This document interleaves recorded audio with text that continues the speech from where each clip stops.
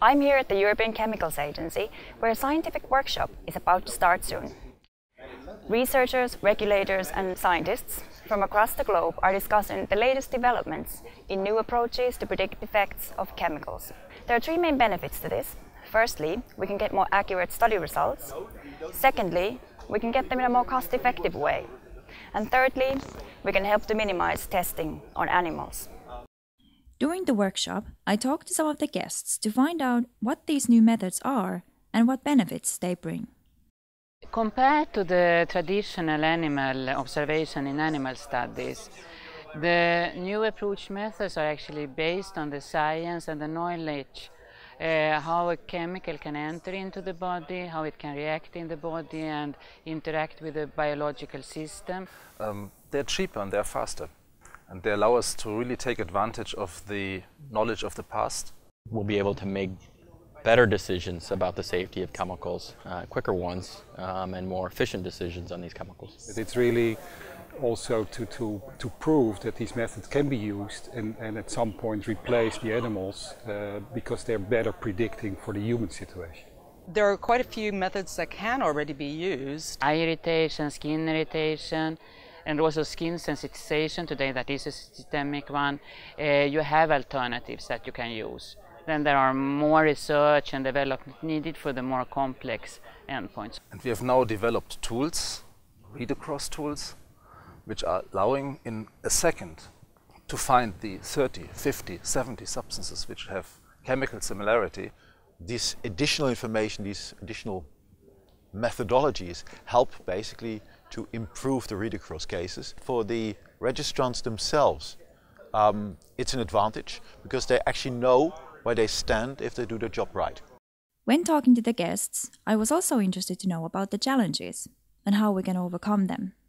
The, the conference here has been very good to, to identify what are the barriers in towards a more broader use of these new approaches in evaluating chemicals. The regulatory acceptance is not yet quite there.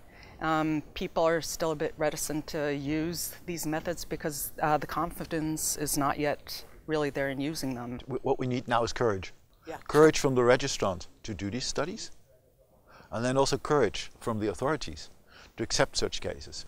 With that, I guess registrants will do more studies, will add more data, the read-across cases will get better, the likelihood of getting them accepted will increase, and you, you spiral up, and I think that's what we should be going. Would be best if uh, uh, companies are being regulated in, in, in, a, in, a, very similar way and that these tests, these new approaches are, are being employed in a very similar fashion. It is very important that this partnership between academia, industry and the regulators is taking place to find new ways.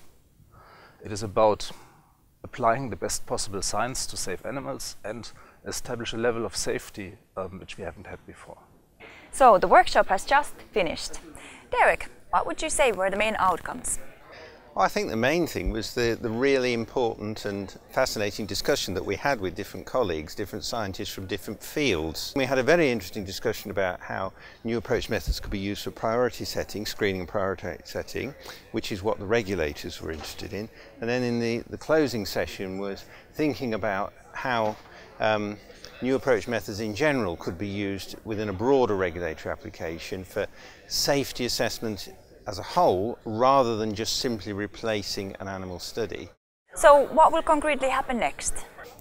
There'll be some various suggestions for further work that, that have already arisen, um, either at international level or by our sister agencies such as EFSA um, or JRC or working closely with the US EPA, for example. Well, thank you very much, Derek. And uh, thank you for joining us here in Helsinki. The uh, workshop materials will be on our website soon.